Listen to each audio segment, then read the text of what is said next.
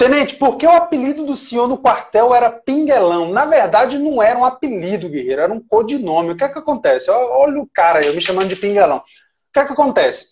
Quando a gente ia para missão, em algumas missões a gente usava balaclava para fechar a cara, né? Para a gente não, não mostrar quem a gente era. E a gente não ficava se chamando por nome, tá? A gente não ficava se chamando, ah, soldado Luiz, vem cá. Né? A gente não ficava se chamando pelo nome, porque não adianta nada. Você cobrir a cara e se chamar pelo nome. Então, o que, que a gente falava? A gente, o que, que a gente fazia? A gente criava codinomes, e codinome tem que ser escroto.